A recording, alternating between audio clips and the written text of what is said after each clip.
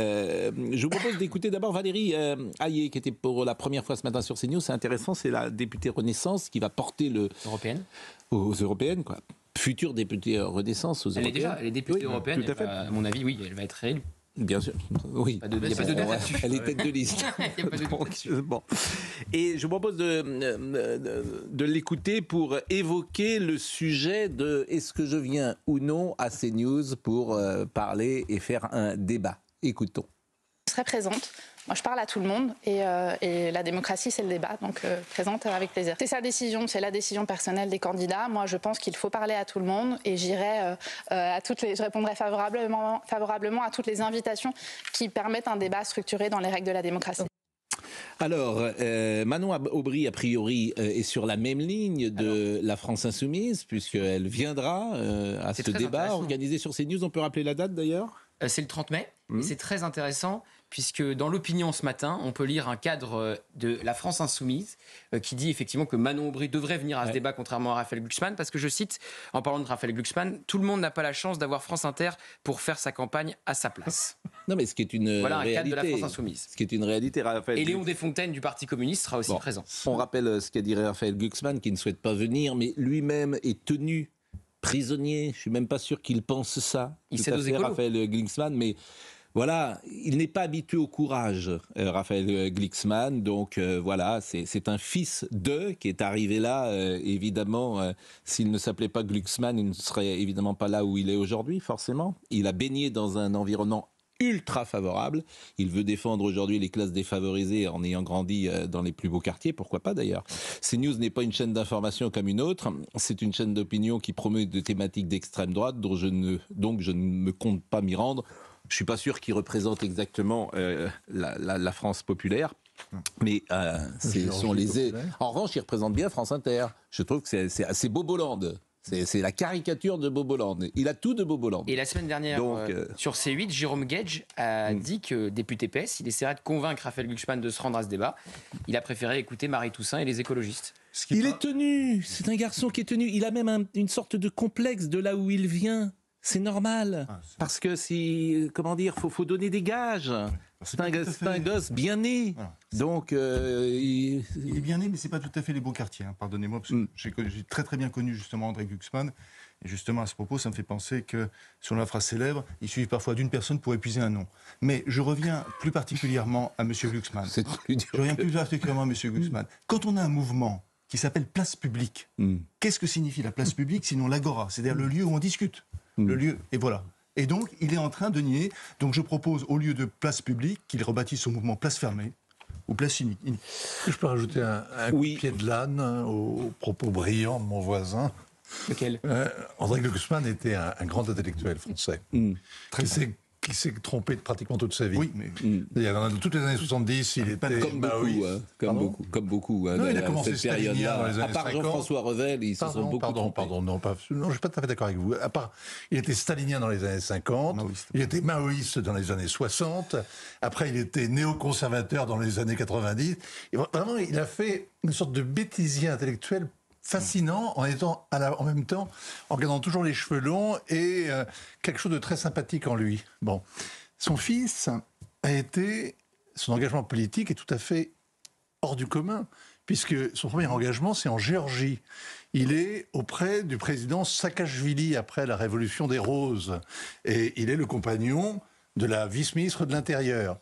Je vous rappelle que Saakashvili et son gouvernement ont été accusés de toutes sortes de crimes par l'actuel gouvernement géorgien, et que l'itinéraire politique de euh, Raphaël Glucksmann, qui avait pris la nationalité géorgienne avant de partir en Ukraine, elle est très étonnante. C'est pas du tout un, un candidat bobo comme vous l'imaginez. C'est un personnage éminemment romanesque. Je trouve la position de Glucksmann très blessante. Blessante à l'égard de CNews, de tous ceux qui participent régulièrement à ces émissions, blessante à l'égard de toutes les équipes qui font vivre CNews, Bien traiter comme ça, de manière jeter comme ça l'opprobre une chaîne d'extrême droite, condamnée, Georges etc. Et blessante pour les très nombreux téléspectateurs qui nous regardent. Donc il y a un côté sectaire, donneur de leçons. Je trouve ça vraiment assez insupportable, c'est mon sentiment. Et on verra si c'est récompensé ou pas euh, par des élections. Mais je crois que la vraie phrase clé, c'est que tout le monde n'a pas la chance d'avoir France Inter pour faire sa campagne. Et c'est la ça. France Insoumise qui le dit. Et c'est voilà, mais ça c'est une réalité. C'est le candidat de France Inter, vous le verrez dans, euh, dans le France euh, sur le service public, c'est le candidat euh, de ce monde. C'est pour ça que j'ai dit Bobo, c'est exactement ce, ce petit monde qui vit ensemble et euh, qui a euh, qui trouve que c'est un garçon très propre sur lui et qui est parfait pour euh, euh, défendre les idées qui sont les leurs. Et ce petit monde, on peut le rajouter aussi. oui. Vit, Sandrine Rousseau. Vit, pardon, juste une seconde, vit dans l'entre-soi et vit dans l'espérance peut-être que Oui. François Hollande aura une lucarne à la prochaine présidentielle. Mais écoutez, euh, et- évidemment, bah, il est reçu en majesté partout, euh, François Hollande. Il est tellement drôle, il est tellement sympathique, il devrait faire du Il est stand-up. troisième dans les sondages de popularité. Mais- Mais, Baromètre IFOP Mais, pour Paris mais- Match. mais allons-y, allons-y gaiement. Sandrine euh, Rousseau, elle, elle veut interdire ces news. Écoutons. rapide. Fait un débat où la seule question c'est l'immigration, le grand remplacement, le danger de l'étranger. Si la seule question c'est celle-ci, ça suffit en Mais fait. est-ce que CNews mais- a dit cela? Ben, CNews, euh, c'est quand même sa ligne éditoriale euh, première, c'est-à-dire que 90% du temps d'antenne, c'est sur les dangers que représente l'autre. Donc ça suffit en fait. Non mais vraiment, on peut pas continuer dans une dans une démocratie à pointer un seul et même responsable de tous nos maux, qui serait euh, la figure de l'étranger. Euh, Enfin, ouvrir CNews 5 minutes, c'est entendre que les étrangers euh, violent les femmes françaises, que les étrangers euh, sont là pour grand remplacer, que la- la- Alors le- on supprime l'autorisation d'émettre de CNews eh ben, je pense que c'est actuellement en débat Oui. à l'Assemblée nationale où il y a des auditions. Moi, je pense que euh, il, il y a un message extrêmement clair à passer à CNews, qui est que ça ne peut pas être une ligne éditoriale. euh, assumée que d'empêcher le pluralisme et de, marteler faut- des informations comme celles qui sont il faut martelées. interdire à CNews d'émettre aujourd'hui? Moi, je pense que la question se pose. Oui, la question se pose. La question se pose. La question se pose. Mais moi, je, C'est génial. Moi, j'ai la, envie de la revenir- définition du pluralisme, un pluraliste, c'est celui qui pense comme moi. J'ai envie de Nouvelle remercier. définition. Moi, je pense qu'il faut la remercier, Madame euh, Rousseau. Parce que je pense qu'en fait, euh, c'est une formidable attachée de presse de CNews. Vraiment. Hein. Euh, ouvrir CNews 5 minutes, c'est entendre que les étrangers violent des femmes françaises. Alors ça, il faut répondre là-dessus. Il faut répondre là-dessus parce qu'elle nous reproche quoi? En fait, elle nous il reproche d'avoir parlé de Claire. faut même pas répondre. Elle nous reproche d'avoir parlé de Claire qui a été violée par une personne sous OQTF. Parce Oui. que c'était pas le bon bourreau et Oui. c'était pas la bonne victime. Mais- Donc c'est ça qu'elle nous reproche. En parler. enfin, personne. je- Je vous assure. Elle pas en je- parler de Claire. Ouais. Je pense que c'est la meilleure attachée de presse. Je répète à tous ces gens qui peuvent venir sur notre plateau, je peux, on peut même Madame Rousseau, je peux la recevoir en tête à tête si elle a peur des, des autres et tout Euh, ça. vous ferez une très Mais- bonne audience, je pense en plus. Mais j'en suis convaincu. Mais c'est tellement contre-productif parce que tout, tout ça est faux, tout ça n'est pas vrai. Donc euh, il y a même Et pas à de gauche, on est quand même passé de mai 68 à Oui. il est interdit d'interdire à il faut tout interdire. Mais ils veulent tous interdire. On parlera Avec tout à Vallaud de. Belkacem, Mais voilà. je l'ai dit hier soir, Najat Vallaud Belkacem, elle veut rationner, dit-elle, euh, le débit Internet sur les gens. Ces gens sont, C'est la Chine, c'est la Russie. ils ont, bah, comme ils ont rien, de- en fait, comme ils n'ont rien à dire sur les classes populaires, qui étaient euh, leur électorat de base, il y a 40 ans, Pierre Mauroy, il parlait aux bases Ah, populaires. ça c'est sûr. Bien sûr. Ah. Comme ils n'ont rien à dire, qu'ils sont tous effectivement déconnectés d'une réalité populaire. Madame Vallaud-Belkacem, il y a quelques euh, semaines, elle a voulu quitter euh, l'engagement politique. Et elle a fait des avances pour être euh, directrice générale d'une grande fédération de sport. Donc euh, voilà. Et puis, euh, comme ça n'a pas marché, elle s'est remise euh, dans, dans la politique. Donc, bien sûr, bien sûr que ces gens-là ont du mal à, à- à trouver un public à qui parler. En revanche, je voudrais que nous écoutions peut-être pour la première fois Madame Rima Hassan, qui s'est exprimée sur France Inter précisément. Donc, elle est Septième sur la liste. sur la liste de LFI. Absolument. Et euh, elle a parlé du Hamas, pour le coup sans ambiguïté, en parlant euh, de, euh, d'organisation terrorisme. Qu'est-ce que le Hamas selon Madame Hassan? Écoutons. Depuis le 7 octobre sur une condamnation des attaques du Hamas, qui par ailleurs j'ai qualifié très tôt d'attaque terroriste, parce que ça aussi, il faut être très clair, la manière, je pense, la plus honnête de définir le Hamas, c'est un groupe, euh, un mouvement religieux qui s'est structuré autour d'une branche politique et d'une branche armée, et dans sa branche armée, il a assumé, à bien avant le 7 octobre, d'avoir recours à un mode opératoire qui est un Les mode opératoire terroriste. les- Ah bah alors là, elle est en rupture euh, quelque Là, il part a avec pas la France d'ambiguïté. Ah non, il n'y a pas d'ambiguïté. Là, il n'y a pas C'est d'ambiguïté. clair ce Là, c'est c'est pour ça que, attendez, Et il faut dire pourquoi elle sort de la polémique, parce qu'elle avait dit lors d'une interview quelques jours, un mois après l'attaque du 7 octobre au Crayon. On lui posait la question le Hamas mène-t-il une action légitime? Elle avait répondu vrai. C'est pour ça qu'elle était dans cette Elle polémique depuis pas de plusieurs jours. Bon. elle. Non, elle Non, non, mais- terroriste. alors, deuxième pas, passage, parce qu'on découvre Madame Hassan, et vous connaissez euh, l'honnêteté intellectuelle qui guide ici l'éditorial, donc on l'écoute, et effectivement, nous disons, bah, Dont il n'y a, il y a pas de, il y a pas de souci. Donc, euh, le rôle euh, du euh, Hamas, et euh, le- le- elle s'exprime également sur les perspectives pour le peuple palestinien. Euh, ce qui est en jeu, c'est euh, d'abord une perspective politique pour le peuple palestinien, et ce depuis 75 ans. Donc la perspective politique, euh, elle passe par les, des voies démocratiques. Je pense que c'est aux Palestiniens de choisir par qui ils veulent être représentés. Mais ce qui est très important aussi pour moi de dire, c'est que si vous condamnez le Hamas, il faut aussi condamner ceux qui ont nourri le monstre. Et ça, je l'ai dit dans une interview pour Mediapart dès le mois d'octobre. Et le régime de Netanyahou a joué un rôle très cynique sur cette question, puisqu'il a voulu nourrir le Hamas pour déjouer la perspective politique qui a été quand même portée par la voie diplomatique de l'autorité palestinienne. Et le troisième passage, sauf si vous voulez commenter, Non, mais c'est- entendable et discutable. Ouais. On est plutôt sur une position d'ailleurs dans la lignée de la position française. En fait, ce qu'elle nous dit, c'est qu'il faut deux États, si je comprends Ah bien. non, elle est contre les deux États. Elle est pour un État binational. Oui. C'est pas pareil. Ouais. C'est pas pareil. Justement, elle, elle a repris plusieurs fois le slogan Oui. From the river to the sea, du Jourdain à la mer Méditerranée. Donc Bah, elle est contre Oui, l'existence de deux États. ça. Alors là, il y a ambiguïté. Elle dit État binational. Ah ça, je- elle n'a pas changé de position là-dessus. Oui, mais là, elle l'a pas dit. Là, Non, mais elle l'a dit. euh, euh, J'ai vu des extraits de France Inter ce matin. Elle, elle le redit. État binational. c'est- un rappel de Gauthier. Elle Elle le- a raison de le faire, parce que là, là c'est. Bon. oui, Donc cohabitation totale. Oui. Et donc les Israéliens vous, disent bah, que c'est un une façon de, de- détruire l'État d'Israël en trompe-l'œil. Voilà. Bon, et la dernière euh, passage, c'est la colonisation d'Israël dont elle parle. Je crois qu'on a, on a euh, le droit de continuer à critiquer une doctrine politique qui est effectivement une dimension coloniale. Ça, ça a été retracé euh, pas par euh, Rima Hassan, hein, par des historiens israéliens, Ilan Papé, par Alain Grèche en France. Donc il y a une dimension coloniale dans le sionisme. Quand Théodore Herzl précise qu'il faut se débarrasser de la population arabe, cette population-là, ce sont les Palestiniens.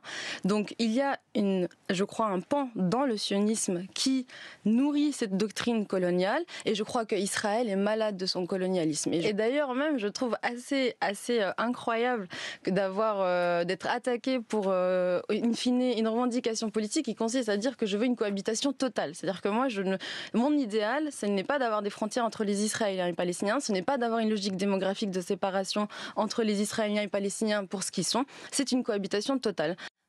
C'est ça. Et l'État binational. revient en effet à l'effacement d'Israël. C'est ce que Vous avez parfaitement raison. Demandons aux Coptes d'Égypte, euh, parlons-leur de là aussi, de- on pourrait parler de la colonisation de l'islamisme.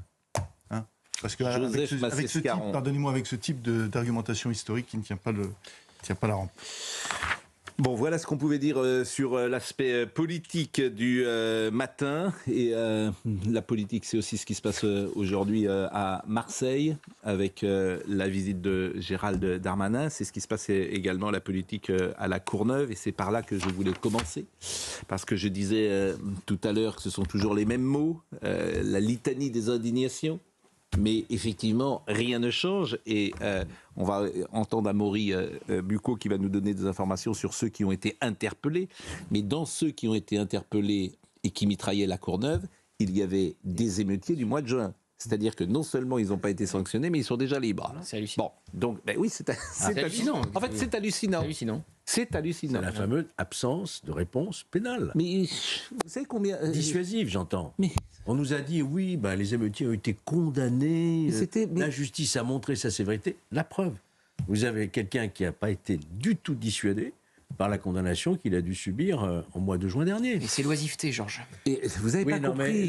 C'était le bac. euh, C'était le le bac. C'est ce L'oisiveté. hein. C'est comme hier, on écoutera tout à l'heure Emmanuel Macron, il parle de l'antisémitisme. Jamais il prononce le mot islamisme. Ça n'existe pas. Il parle de Maurras, il parle de euh, Oui. Drummond, il parle de la libre parole. Il fait de la politique pour viser le RN. Voilà, il parle de, l'antisémitisme il y a un siècle. Moi, je voudrais qu'il parle de l'antisémitisme d'aujourd'hui. Le mot islamisme, il ne le prononce pas. Alors, il vous dira, le président de la République, que oui, il en parle tout en n'en parlant pas, etc. Hmm. Comme toujours.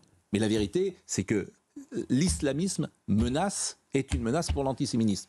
Ça, c'est une réalité. Eh bien, la phrase que je viens de dire, il ne la dit pas aussi clairement. Non, il ne l'a pas dit. Écoutons euh, Amaury Bucco sur le Pourtant- profil euh, de ces... Pourtant, il avait fait cette loi sur les séparatismes. Il avait évoqué lors de son discours, je ne sais plus à quel endroit c'était, dans les banlieues, il avait évoqué euh, cette question. Le numéro, C'était au, au- le discours numéro, effectivement. Euh, cet islamisme politique, Oui. il en avait parlé. Mais vous avez parfaitement raison. Ce jour-là, depuis oui. le 7 octobre, il n'en parle plus véritablement. Et il n'a même pas manifesté? Oui, tout à fait. Donc, euh, Bah, c'est Yacine Bellatar hein, qui a donné ses bons conseils.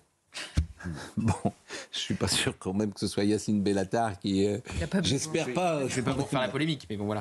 Bon, écoutons en tout cas Amaury Bucco sur le profil de ces jeunes gens qui ont été interpellés et euh, ça va être intéressant de suivre le dossier. Les neuf personnes interpellées pour l'attaque du commissariat de la Courneuve dans la nuit de dimanche à lundi sont toujours en garde à vue. On en sait un peu plus sur leur profil. Deux euh, d'entre elles sont mineures, sept sont majeures, âgées de 18 à 21 ans, soit à peu près la tranche d'âge euh, du jeune Wanis hein, qui est mort après avoir percuté euh, une voiture de police mercredi soir lors d'une course-poursuite et un refus d'obtempérer. Euh, on sait aussi que ces jeunes, assaillants interpellés eh viennent du quartier des Maraîchers à la Courneuve, comme euh, le jeune Wanis. Et on sait aussi eh bien qu'ils sont pour la plupart connus des services de police et notamment pour certains pour avoir pris part aux violences urbaines l'été dernier, violences qui avaient notamment visé là encore le commissariat de la Courneuve. Bon, Charlotte, que, que peut-on dire que, selon la célèbre question que je pose tous les jours, que peut-on dire qu'on ne sache pas déjà?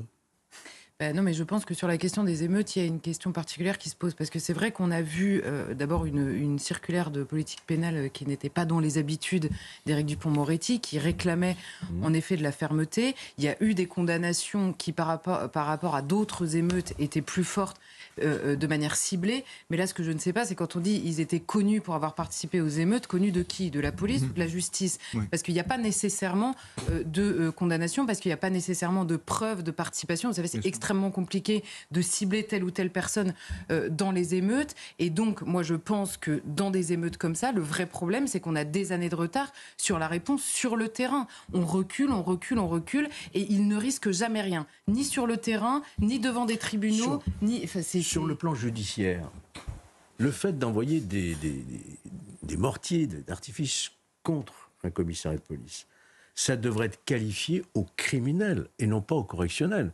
Il y a une volonté de s'en prendre et de tuer des personnes. Ces tentatives déposées. d'assassinat. C'est pour ça. Et la peine encourue, c'est- c'est effectivement la réclusion C'est c'est juste ces tentatives d'assassinat, ça s'appelle en fait. 10 ans, hein. Vous voyez, quand vous dites 10 ans, vous n'êtes pas particulièrement sévère. La peine encourue, tentatives c'est d'assassinat. Or, la justice, malheureusement, qualifie ça de manière délictuelle, c'est-à-dire destruction de biens immobiliers, etc.